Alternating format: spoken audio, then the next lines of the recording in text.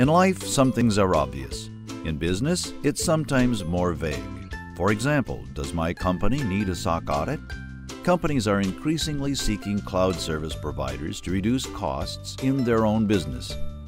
By running applications through the cloud, a company can eliminate the costs associated with buying, maintaining, and securing the hardware to run the applications while maximizing the application's potential to store data on remote servers. Cloud computing is also scalable, which is beneficial to fast growing companies who may need to ramp up staff quickly over the next several years.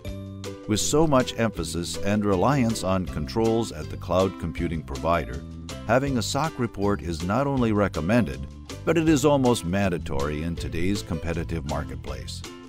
SOC audits can be a confusing and frustrating initiative.